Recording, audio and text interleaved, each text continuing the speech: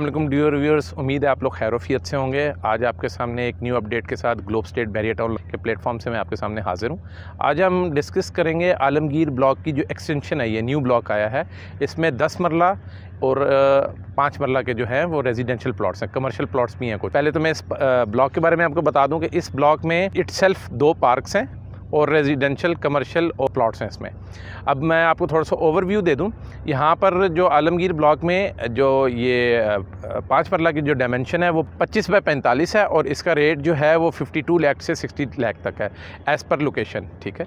और जो 10 मरला की डायमेंशन है, वो पैंतीस पैंसठ है और इसका रेट 75 से एटी सिक्स तक है, एक एज़ पर लोकेशन अगर हम यही दस मरला के प्लॉट्स इसके साथ ही जो मुंसलिक है आलमगीर ब्लॉक, उसकी अगर बात करें तो वहाँ पर आलमगीर ब्लॉक में इस टाइम जो रेट चल रहा है, वो है 85 से 100 तक, यानी 85 लाख से लेके एक करोड़ तक।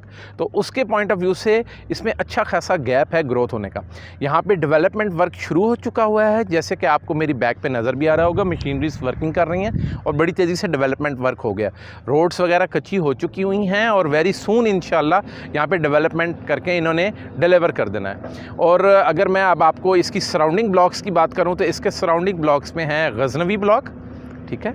उसके बाद आलमगीर ब्लॉक इट्सल्फ जो आलमगीर है, जिसकी ये एक्सटेंशन है। सिकंदर ब्लॉक और गाज़ी ब्लॉक ये इसके सराउंडिंग ब्लॉक्स हैं। अगर मैं इसकी एनमिनिटीज़ या इसके सराउंडिंग में जो चीज़ें हैं उसकी डिस्कशन करूँ तो इसके बिल्कुल सराउंडिंग में वॉकिंग डिस्टेंस पे, थोड़ी सी ही डिस्टेंस पे इसमें आप कह लें गजनवी की ग्रैंड मस्जिद है और बैरिया का स्कूल है फ़ूड कोर्ट है, जो कि अभी ऑपरेशनल नहीं है, अभी वो अंडर कंस्ट्रक्शन है। सिनेमा है सिनी गोल्ड प्लेक्स के नाम से। ये दो दो मिनट की सिर्फ़ ड्राइव पे है दो मिनट की ड्राइव पे अगर आप N F C phase two की तरफ़ से होते हुए जाते हैं तो आप कैनाल और मुल्तान रोड पे पहुँच जाते हैं। जस्ट दो मिनट की ड्राइव है। ये बिल्कुल इसके पीछे ही बैक साइड पे आपको नज़र आ रहा होगा। और ये पीछे जितनी भी आपको जगह नज़र आ रही है, ये एन फ़ेज़ टू है। यहाँ पर प्रॉपरली प्लॉटिंग हुई हुई है। यानी ये सोसाइटी के साथ मुंसलिक है। ये ओपन लैंड के साथ नहीं है।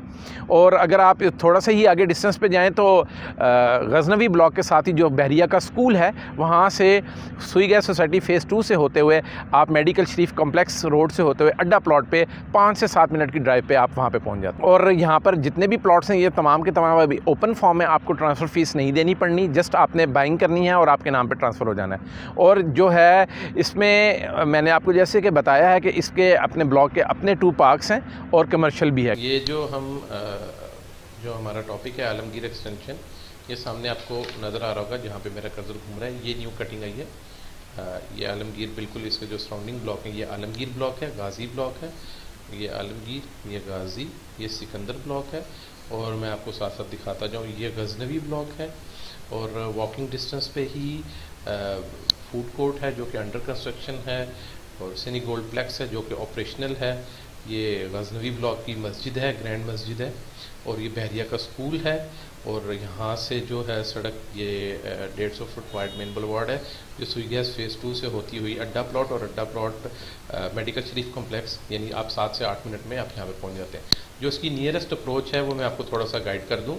ये N F C phase two से है कनाल और नह कनाल और मुल्तान रोड से दो मिनट की ड्राइव पे आप यहाँ से एंटर हो जाते हैं बहरिया के अंदर। ये बड़ी आइडियल अप्रोच है और बड़ी ज़बरदस्त अप्रोच है। यानी within a two two three minutes आप नहर के ऊपर और और उसके ऊपर मुल्तान रोड पे एक्सेस हो जाती है आपकी।